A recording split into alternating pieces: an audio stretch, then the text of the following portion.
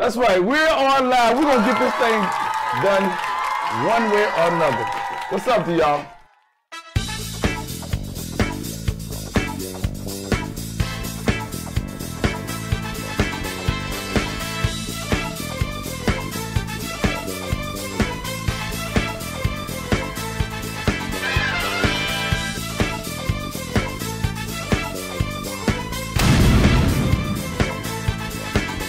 What's up, y'all?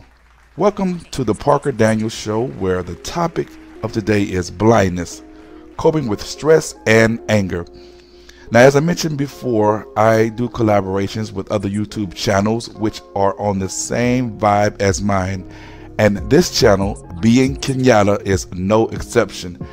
She's a good friend of mine in the YouTube world, and she allowed me to have her story told on this channel, and I appreciate it a great deal. So y'all need to go check out Being Kinyata, K-I-N-Y-A-T-A, on her YouTube channel. You will find a great deal of interesting things.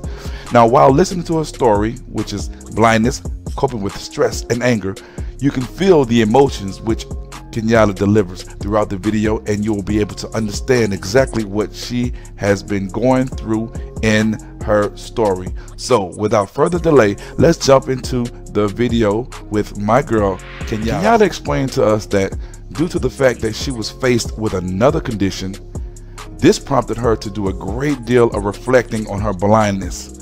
So let's take a listen in this segment and see what she says. When I lost my sight, it was devastating, but I was numb, right? I, everything was happening so quickly. I didn't know what was going on, blah, blah, blah, blah, blah. But a week later, I couldn't move my arm. I couldn't move my legs. And now I'm really baffled. So I was diagnosed with this rare disorder called Guillain-Barré. I know I probably pronounced it wrong, but you better not judge me. Please don't judge me, please. Um, and the Guillain-Barré left me temporarily paralyzed. So by the time I got home, I had nothing, nothing, nothing, nothing but time. Now, I have heard of Guillain-Barré, but for those who are unaware of what it is, it's a rapid progressive autoimmune disorder of the peripheral nervous system characterized by limb paresthesia and generalized muscle weakness or paralysis that often begins in the legs and spreads to the arms, torso, and face. Now, having a great deal of time on our hands, Kinyata's mind wondered about things that she probably wouldn't have wondered about in other instances. Here's what she said in this segment. And all I could think about was what I was missing, what I was missing outside. Every morning I woke up feeling a, a type of way. It was undescribable. It really was. It was like listening to the birds chirp made me pissed off. Listening to the morning show on the radio made me pissed off. Listening to my brothers leave for school made me pissed off. But I couldn't put it into words. Couldn't talk about it. Why? Because I didn't know how to, right? So I lashed out on occasion, more than occasions. You know, I expressed my frustration, but it was always a yell, a scream. I couldn't kick. Couldn't kick. And that's awful. That's a bad joke. Um, but I was mad.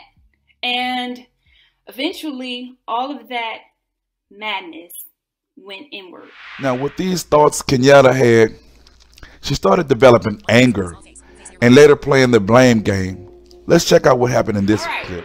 So, I'm mad at myself. I'm angry at myself. I'm blaming myself. I'm everything. But then, but then, I turn to the Lord and I say, why the hell you do this to me? I was not bad.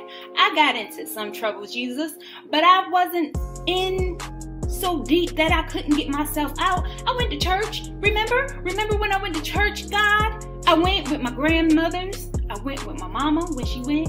I went with my aunts, Gloria and Deborah and all of them. I, I sung in the choir. I even got baptized, Jesus. Why me? I can relate to how she felt in this instance because I too did the exact same thing when I was young.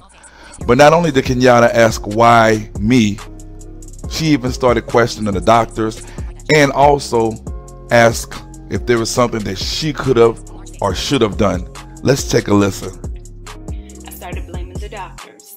I mean, it was them who made me this way. I started blaming um, myself. I should have remained a vegetarian. I shouldn't have ate meat. I should have went out for more walks. Should have been athletic like my brothers. I should have, should have, could have, would have. It became a stupid ass trap song that trap wasn't even invented back then, but it should have, could have, would have, uh, should have, could have, would have, uh. That's basically how it went, right? and eventually, all of that self blame, guilt, shame turned into anger. And I started finding myself making up these little rhymes like, I'm a blind bitch. That's what they Now, sometimes, y'all, it's not that easy. And that's all I'm to say about that. As we conclude, Kinyata made some realizations after going through her becoming blind and dealing with other issues as well. Here's what she said about it. My gems of wisdom, my sparks of wisdom going to share with you is if you are going through this process or know someone who's going through this process, anger is just one of those things that everybody experiences. It doesn't mean doesn't mean that you have to be blind. It doesn't mean anything. Anger is just one of those things. When you're going through something like this, you're gonna get pissed off, right? And if you're going through this, then guess what? Feel it. Feel that emotion, right? But do something that I wouldn't do. Have the courage to open your mouth and tell somebody how angry you are, how upset you are, what you're really thinking. And if you really, really can't control it, then please go get some help. Please. Once again, I am Kinyata. This is She's Blind. Go to the Facebook group and sign up to the She's Blind group. Also, go to the webpage. I will be releasing some uh, worksheets that you can use to help you work through these emotions, okay? So, I bid you farewell. Take it easy. Remember, like, subscribe, and share. Show me that you care. Show me that you care. Yeah. Peace. Now,